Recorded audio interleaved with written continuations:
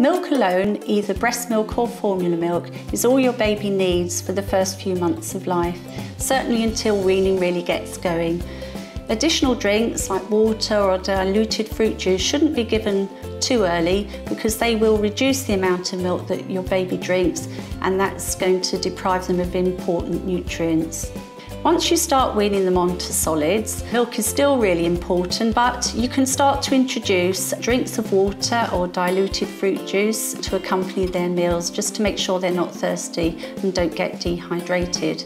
The amount of milk that you're giving them as weaning progresses will vary, but as a general rule, from around six months, you should make sure they're having around a pint of milk a day, which is between 500 and 600 mils. And then as you reach the end of the first year and they're moving on to family type meals, that will reduce. So toddlers generally will have more like 300, 350 mils of milk a day. But this is very much dependent on your baby, so be guided by them.